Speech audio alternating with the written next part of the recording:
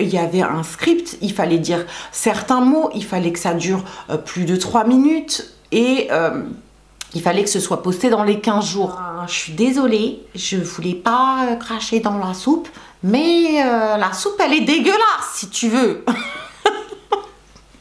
C'était un peu ça, donc je vais pas te dire que la soupe elle est bonne alors qu'elle est immonde, tu vois. Elle est pas à mon goût, du moins. Désabonne-toi, bon vent et voilà, tranquille, tu vois. Franchement, je m'en tape royalement. Donc, soit tu as envie de voir, tu fais tes propres recherches et effectivement, tu vas essayer de croiser les différentes sources d'informations, etc. Soit tu pas envie de voir, effectivement, tu te mets Netflix et euh, les Marseillais euh, après ta journée de travail et euh, voilà.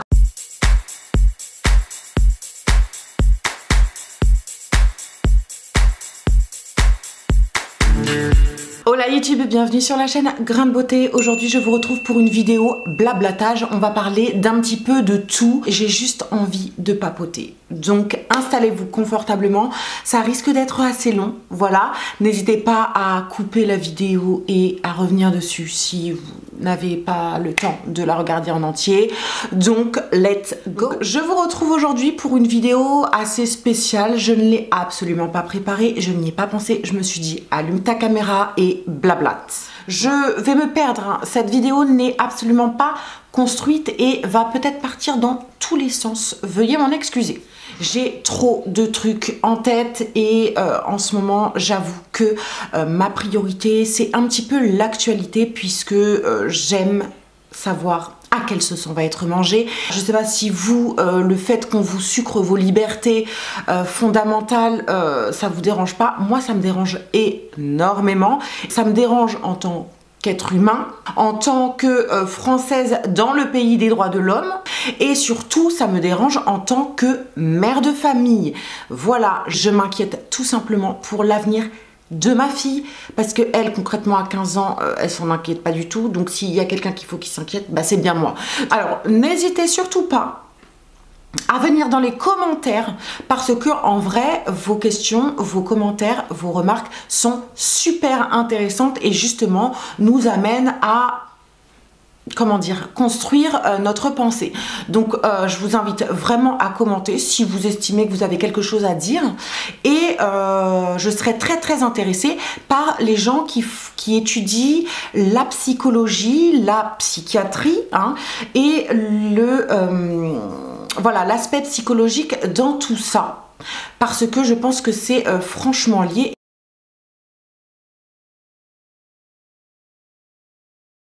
Nous sommes en confinement depuis un mois, enfin Lorsque vous aurez regardé euh, la vidéo, normalement, on a été déconfiné, on a été euh, claquer nos thunes dans les magasins pour Noël. Enfin, je dis ça, pas pour moi, pour vous, parce que moi, j'ai pas de thunes.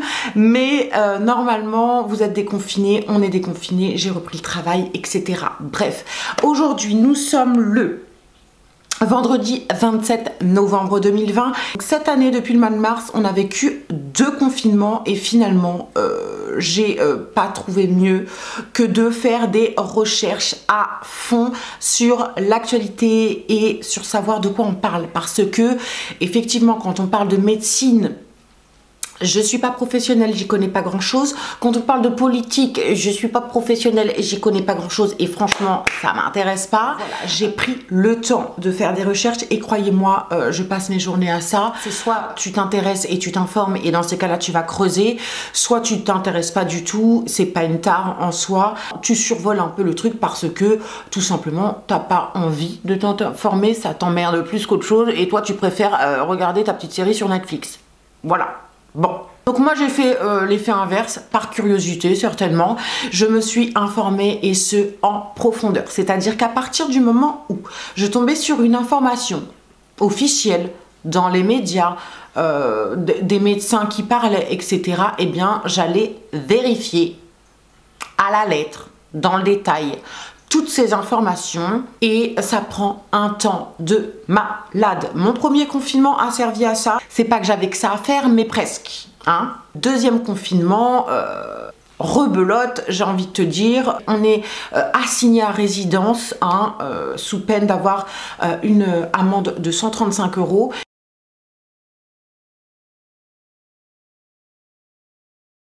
Sous euh, la fameuse vidéo où je remets en question la vidéo d'Enjoy Phoenix, j'ai reçu un commentaire qui m'a un petit peu fait sourire en vérité. Donc je vais essayer de le retrouver s'il n'est pas effacé parce que la fille a menacé de ne pas euh, laisser ses commentaires. Ah, ça a été effacé. Bah alors? Bah mince. Bref, la fille euh, disait dans son commentaire sous ma vidéo Désolée, je ne, connaissais pas ta chaîne, euh, je croyais, savais pas que ta chaîne était une chaîne complotiste. À quelle heure, mon gars? À quelle heure? Enfin, faites défiler le fil d'actualité de ma chaîne, on parle pas complotisme, on parle shampoing, wesh. J'ai pas compris. Dans son commentaire, elle me traitait de complotiste et surtout, elle m'a menacé de se désabonner. Ça m'a fait sourire voilà, donc j'avais envie de parler de tout ça. Pour euh, parler du sujet du complotisme, euh, pourquoi aujourd'hui lorsqu'on pose une question, on est euh, taxé de complotiste? Je comprends pas. C'est-à-dire qu'à partir du moment où on ne gobe pas les yeux fermés ce qu'on nous dit et ce qu'on nous donne à manger, alors on devient d'un seul coup complotiste. Ce mot, complotiste, ça ferme euh, tout, euh, toute idée de débat, ça écrase la pensée et euh, tout de suite c'est une étiquette qu'on nous a collée sur le front en mode de toute façon toi t'es complotiste, tout ce que tu vas dire c'est de la merde. Est-ce que le fait de poser des questions fait de moi une complotiste? Est-ce que le fait de vouloir m'informer un peu plus fait de moi une complotiste? Finalement, aujourd'hui, les gens qui posent des questions sont des complotistes à partir du moment où ça m'atteint personnellement, ça atteint ma liberté personnelle, on va parler au nom de moi-même, hein, et à partir du moment où ça atteint la liberté de mon entourage et de mon enfant, en l'occurrence, eh bien effectivement, je veux savoir de quoi on parle. Et à partir du moment où je veux savoir de quoi on parle et où je pose des questions, qu'est-ce qui fait de moi que je suis complotiste. Je, je comprends pas, en fait. Il faut arrêter de dire des conneries à un moment donné. À partir du moment où t'es pas d'accord avec ce qu'on dit, eh bien, euh, on te fout euh, dans la case du complotisme.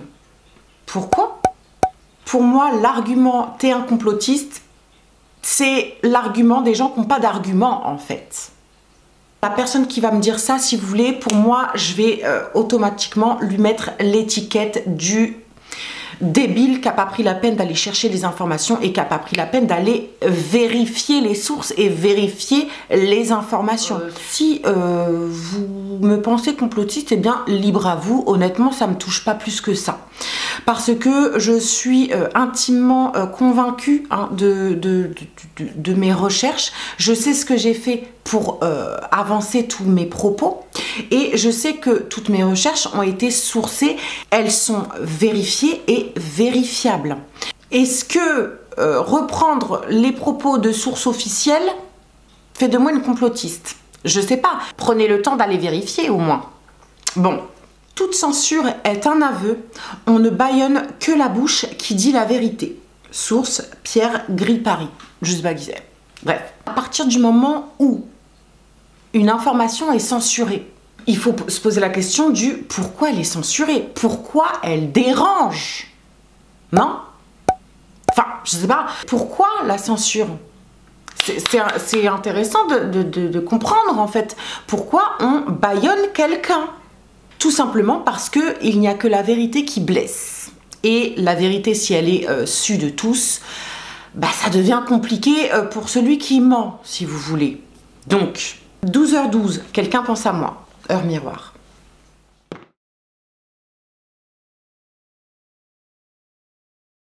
Deuxième chose, lorsque mes abonnés me menacent de se désabonner parce que je vais pas dans, le bon sens selon elles.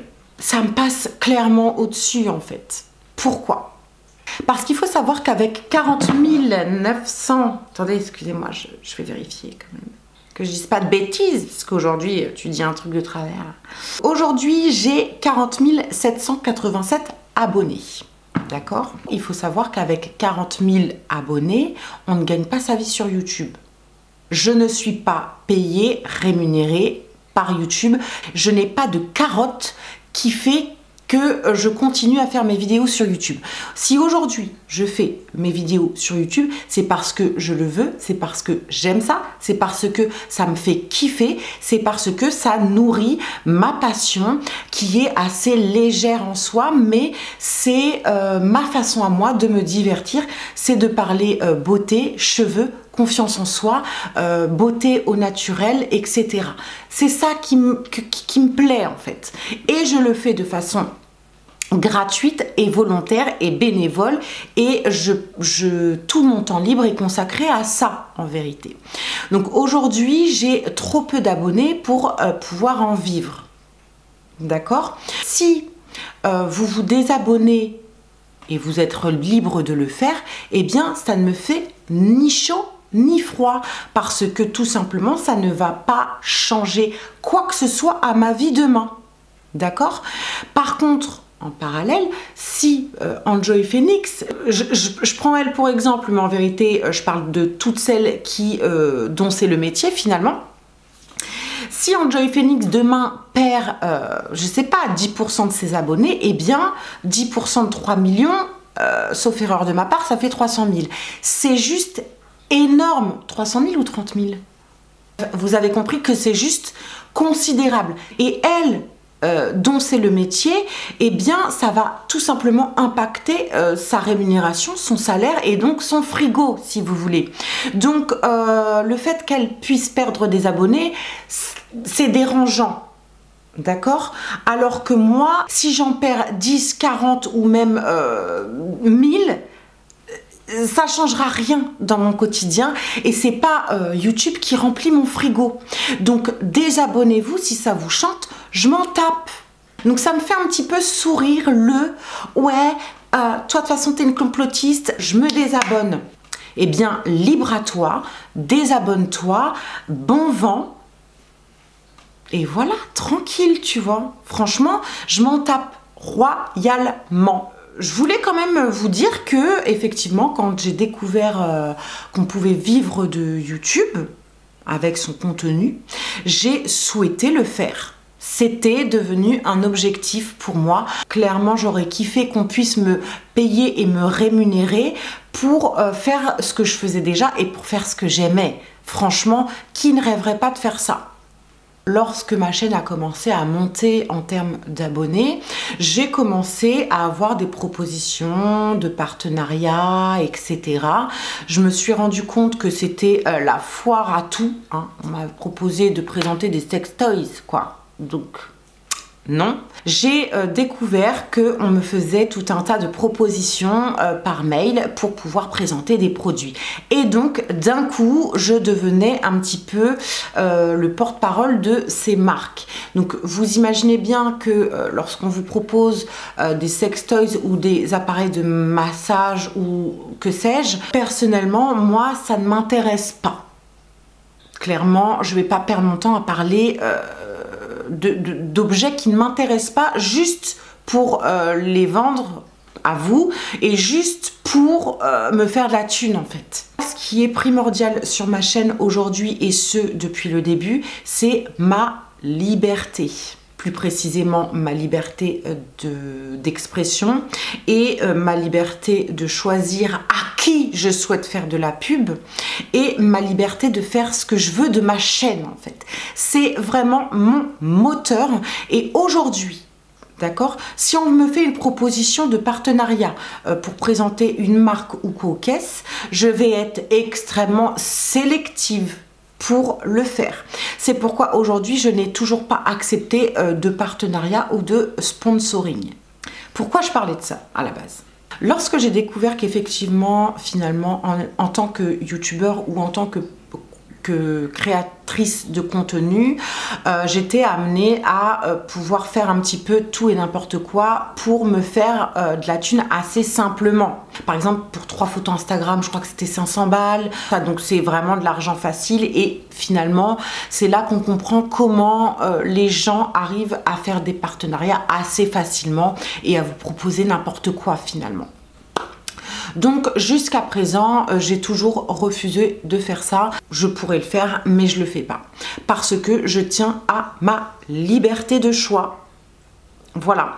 Maintenant, si demain on me propose euh, un partenariat avec une marque que j'aime, que j'utilise et euh, que, je kiffe et dont je souhaiterais vous parler, effectivement, je ne vais absolument pas refuser si vous voulez.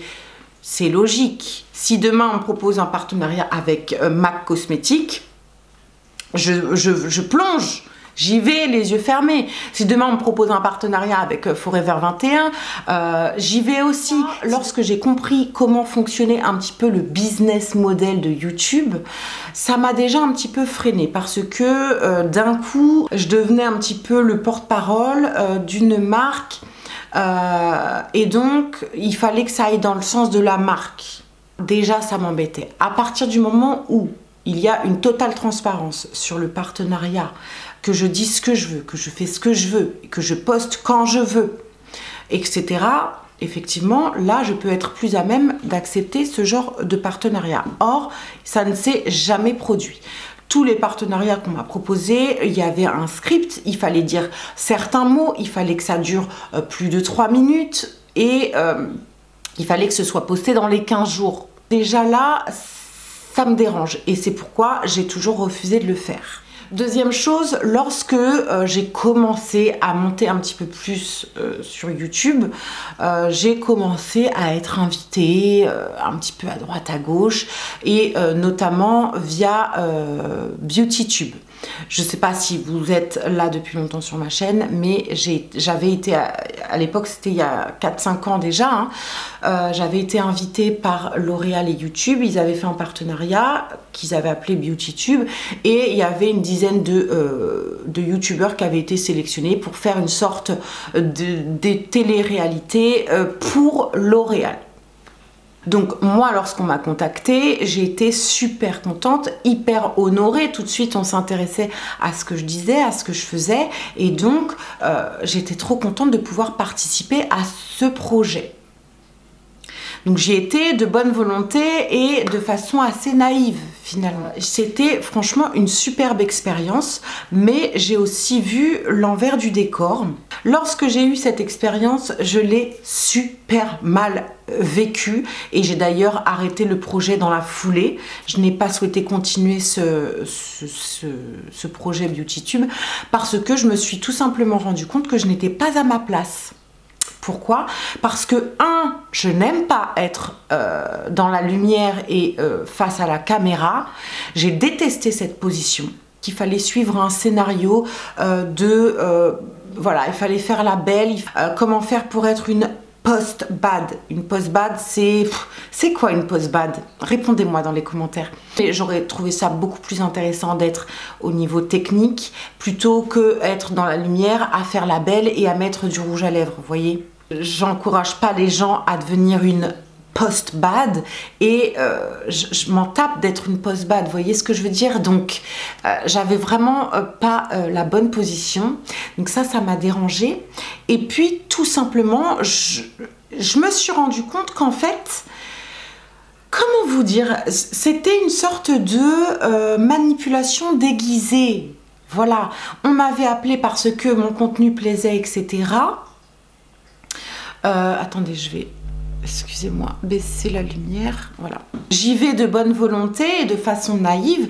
Et sur place, face à la caméra, au moment où ils avaient appuyé sur euh, enregistrer, euh, là, on me demandait de devenir quelqu'un que je n'étais pas vous comprenez bien que ça peut intéresser 9 personnes sur 10, mais moi je suis la dixième et j'ai détesté être pris à mon propre jeu comme ça. J'étais pas du tout en phase avec ça et je n'ai pas souhaité continuer ce projet.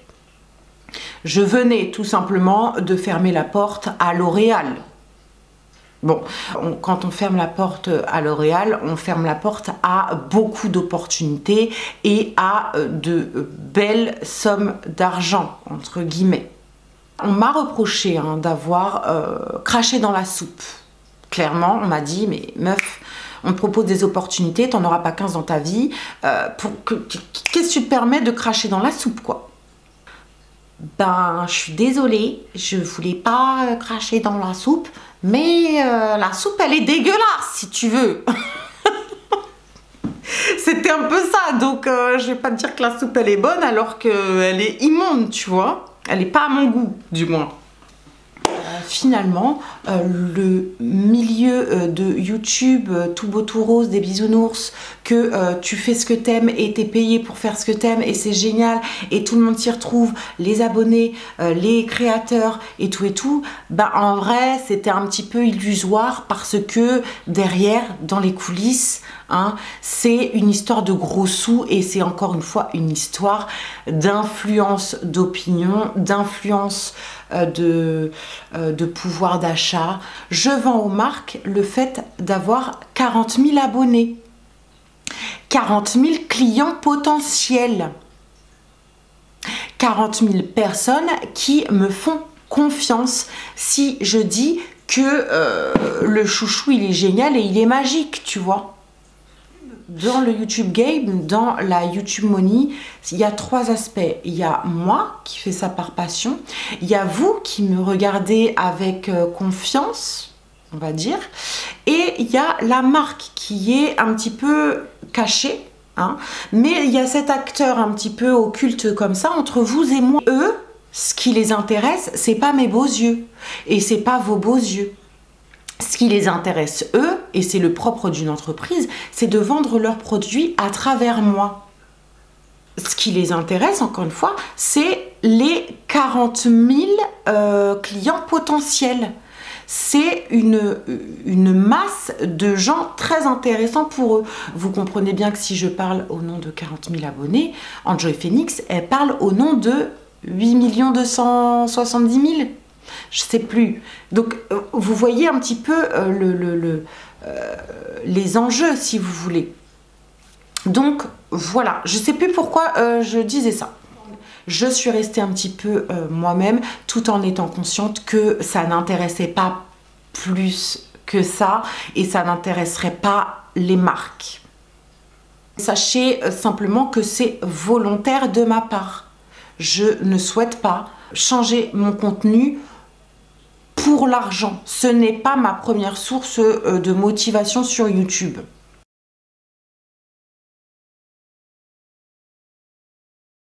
Un autre point que je voulais aborder, euh, j'ai eu énormément de remises en question ces derniers temps parce que j'ai traversé une sale période, on va dire ça comme ça, et j'ai remis un petit peu toute ma vie en question et surtout toute ma façon de consommer en question j'ai commencé à questionner mes cosmétiques, à savoir qu'est-ce qu'il y avait dedans, qu'est-ce que je donnais à ma fille, euh, pourquoi euh, je consommais ça et pourquoi je consommais comme ça, ce qui m'a amené à finalement aujourd'hui à vouloir déconsommer.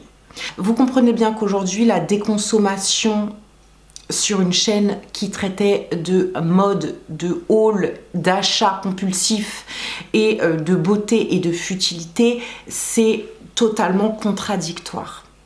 Et aujourd'hui, si vous voulez, j'ai plus vraiment le moteur à vous partager un contenu euh, léger et futile parce que j'ai d'autres priorités et parce qu'il y a des choses qui me paraissent capitales à savoir et à partager euh, aujourd'hui dans ma vie. Pourquoi je vous parle de ça? Parce que tout simplement c'est lié à l'actualité. Je veux dire, il se passe tellement des choses graves sous nos yeux au niveau de l'actualité qu'aujourd'hui mon intérêt euh, se porte plus sur euh, comment vont se comporter mes cheveux à la sortie de chez moi. Mon intérêt se porte beaucoup plus sur est-ce que aujourd'hui on va pas nous enfermer parce que on refuse tout simplement euh, d'être vacciné, par exemple? C'est des questions tellement essentielles à, la vie de nous tous en tant qu'être humain sur Terre et en, tant qu'être humain libre que euh, tout ce que je pouvais aborder auparavant me paraît assez futile aujourd'hui. C'est pas pour autant que je vais arrêter de parler beauté, si vous voulez, parce que c'est un truc qui, voilà, c'est mon, petit truc léger, c'est euh, mon divertissement à moi. Donc je dis pas que je vais arrêter de parler beauté, mais en tout cas aujourd'hui, ce n'est plus vraiment mon euh, principal centre d'intérêt.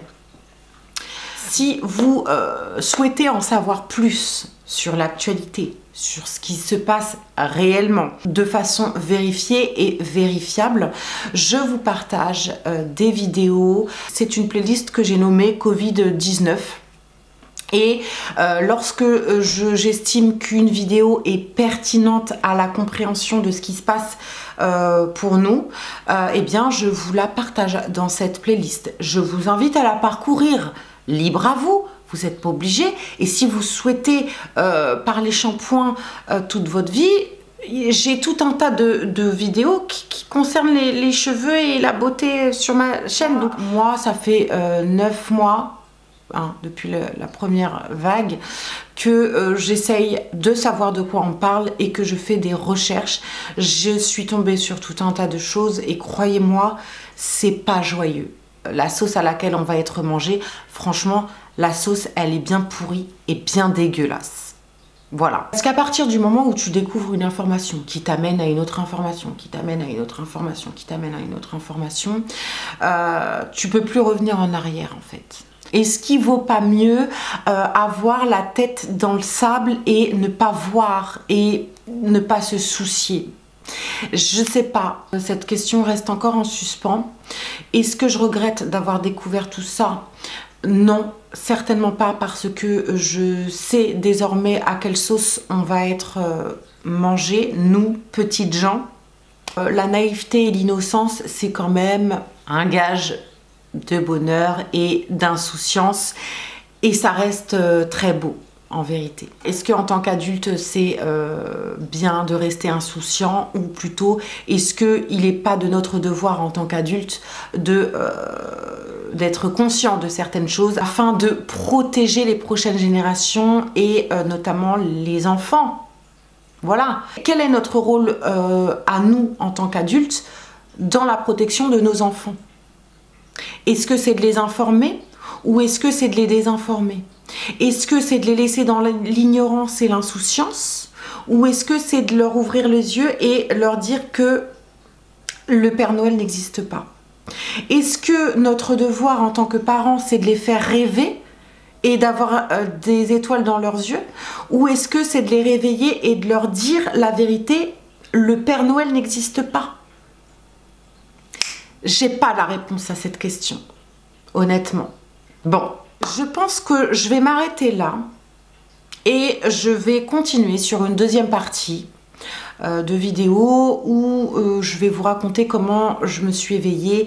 Je vous sourcerai tout ça. Je vous mettrai euh, des vidéos en lien dans la barre d'infos et toujours dans la playlist Covid si vous souhaitez.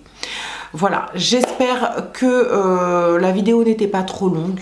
Je trouve ça plutôt cool de pouvoir discuter un petit peu d'autres sujets et de sujets comme ça, euh, assez d'actu. Donc voilà, n'hésitez pas à venir dans les coms, vous êtes toujours libre de le faire. Euh, vous êtes libre également de vous abonner à ma chaîne si ça vous plaît et vous êtes libre également de vous désabonner à ma chaîne si euh, mes mots ne résonnent pas dans votre tête, dans votre vie et voilà. On peut parfaitement ne pas être d'accord et pouvoir en débattre dans les commentaires de façon euh, respectueuse. Par contre, je tiens quand même à préciser que un commentaire c'est que de l'écrit, il n'y a pas l'intonation et ça reste que de l'interprétation. Euh, je me rends compte parfois que quand je réponds à certains euh, ça peut être mal pris, mal interprété, mal tourné, alors que quand on me connaît, on sait que voilà, je prends les choses un petit peu sur euh, l'humour et l'autodérision, donc faut pas mal prendre ce que je raconte, ce n'est pas du tout mon intention. Sur ce YouTube, je vais en rester là. Je vous dis à très bientôt dans une prochaine vidéo et euh, en attendant, prenez soin de vous et rejoignez-moi sur Odyssée pour la liberté. Bisous